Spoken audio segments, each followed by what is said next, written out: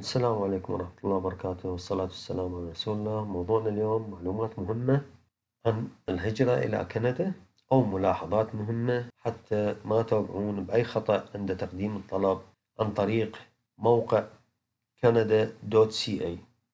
شرحنا بالفيديو السابق التقديم للهجرة عن طريق المنظمة والمنظمة هي تساعدكم بالإجراءات. موضوعنا اليوم اللي متمكن من اللغة ويقدر يقدم عن طريق الموقع الرسمي canada.ca أول ملاحظة حاول أن ترسل طلبك للهجرة كاملا ولا تترك أي سؤال من غير جواب. وإذا كان السؤال لا ينطبق عليك يعني ما موجه لك اكتب حرفين.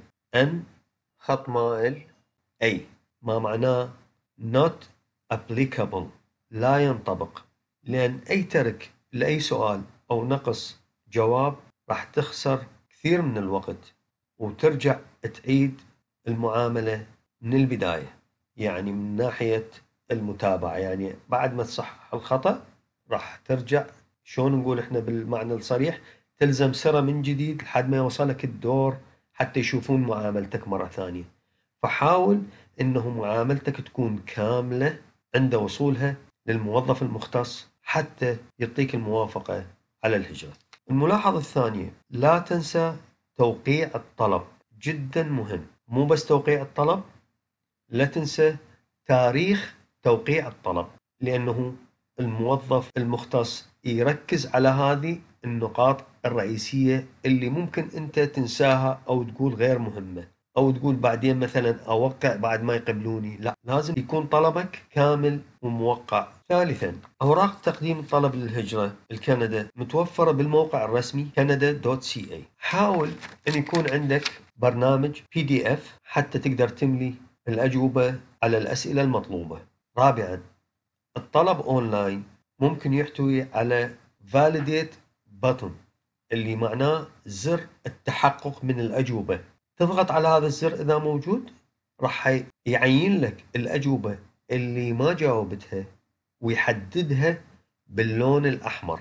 الملاحظة الخامسة يجب أن تكون جميع إجاباتك واضحة ومفهومة لكي يتم الموافقة على طلبك. ولا تحاول إرسال أي جواب مبهم أو غير مفهوم لأن هذا نفس الشيء راح يؤدي إلى تأخير معاملتك. هذه النقاط اللي دا أذكرها الآن هذه اللي يركز عليها الموظف المختص عند مراجعة طلبك للهجرة. الملاحظة السادسة عند إرسالك للوثائق عن طريق البريد أرسلها بواسطة بريد آمن. شوف شنو البريد الآمن اللي موجود ببلدك هل هو DHL أو FedEx شوف شنو البريد اللي موجود بكندا وموجود ببلدك ويكون آمن ومدفوع حتى تضمن أنه هاي وثائقك ما تخسرها. الملاحظة السابعة لا ترسل أي وثائق غير مطلوبة لأنها تضر بطلبك.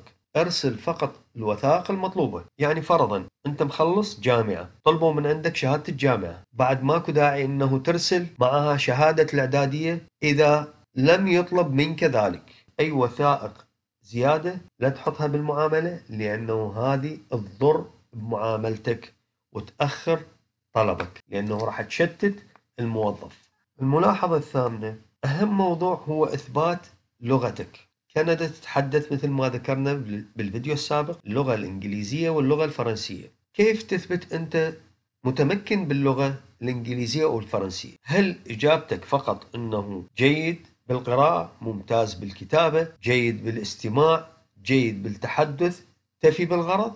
لا. هذه ما تفي بالغرض. الإثبات مثل ما عندك إثبات أنه أنت مخلص جامعة عندك شهادة جامعية لازم تكون عندك شهادة تثبت تفوقك أو نجاحك باللغة الإنجليزية. راح تسأل كيف؟ المطلوب من عندك يكون شهادة لأحد الاختبارات باللغة الإنجليزية أو امتحانات اللي هو ال CELPIP أو ال IELTS هذني الاختبارين أكو ناس تاخذهن اثنيناتهن واكو ناس تختبرهن واحد من عندهن لأنه مطلوب. بالنتيجة من راح تخوض هذا الاختبار أو الامتحان راح يعطوك درجات على القراءة والكتابة والتحدث والاستماع. نفس هذه مطلوبة من عندك بالأرقام في موقع اي هذا هو الإثبات الرسمي للغتك الإنجليزية. بالنسبة للغة الفرنسية موجود برامج أخرى برنامجين آخرين TCF و TEF نفس الشيء تقدم للامتحان وتختبر بهم. ولا تنسون اللي يقول عندي شهادة جامعية وما عندي لغة وما أقدر أخذ هذا الامتحان كندا طالب المهاجرين سنة 2021 2022 2023 عندكم ثلاث سنوات. يعني ما أعتقد واحد بيكم إذا يقدر يكثف نفسه في الدراسة معينة ثلاثة أشهر أو شهرين أو ست أشهر ويختبر بيها وياخذ هذه نتيجة الامتحان مو صعبة عليكم يعني. تقدرون تسووها وتقدرون تحصلون هذا الشيء لأنه هذا موضوع مصيري وهو هجرتك إلى كندا. نجي على الملاحظة اللي بعدها.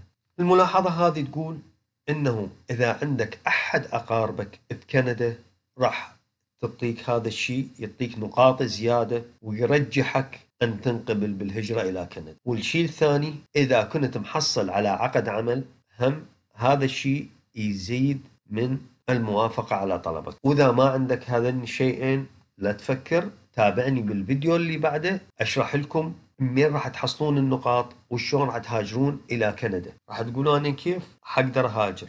لا كندا تريد من عندكم 67 نقطة من 100 راح تقول كيف أحصل هذه النقاط؟ هذه النقاط تحصلها عمرك عملك شهادتك التعليم لغتك الإنجليزية ونجاحك باختبار اللغة الإنجليزية. كل هذين الشغلات هي اللي تأهلك وتعطيك هذه النقاط واللي هي ممكن تعطيك أكثر من 67% تابعوني بالفيديو اللاحق وإن شاء الله أتمنى لكم الموفقية. لا تنسون عمل like subscribe ودعم قناتي. كي أستمر بنشر كل ما هو مفيد للجميع. والسلام عليكم ورحمة الله وبركاته.